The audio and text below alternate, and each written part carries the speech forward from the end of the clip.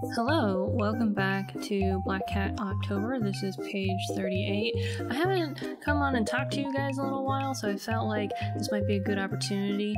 This project was definitely over ambitious. Been a lot of work, been a lot of fun. It's been a lot. And with this painting or the sketch, I broke out the paintbrushes you'll see again because it just wasn't coming out the way I wanted to with just the paint markers. So I might be doing that a bit more with these coming pages. These next few pages might get a little bit more experimental as I kind of need a change of pace with these sketches for my own sanity. So thanks so much for watching. I look forward to seeing you in the next one.